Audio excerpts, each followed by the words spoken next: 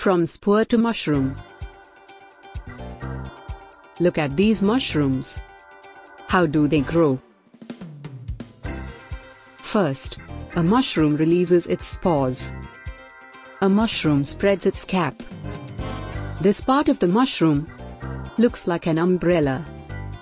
Underneath it are soft parts called gills. Between the gills lie millions of spores. They wait to be released.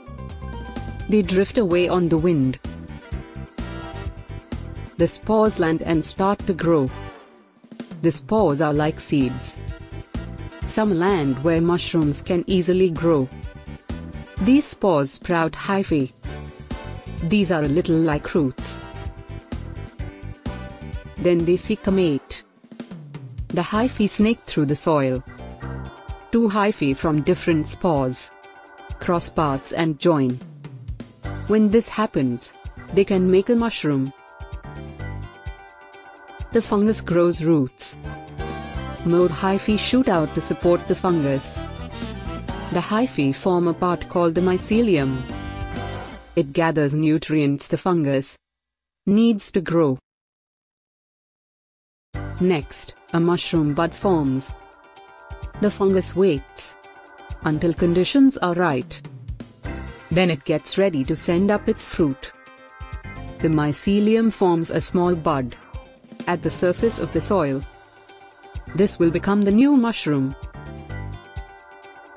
Soon a baby mushroom appears.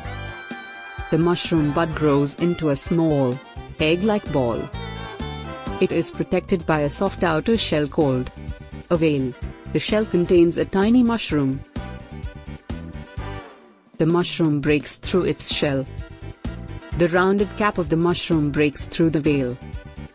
Pieces of the torn veil can often be seen on the growing mushroom.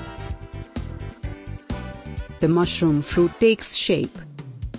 The mushroom grows larger, and its tightly closed cap reaches outward.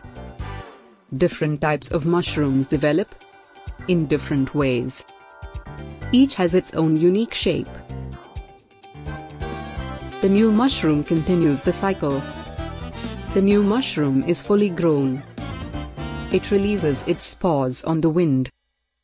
It provides meals for hungry bugs and animals, even humans.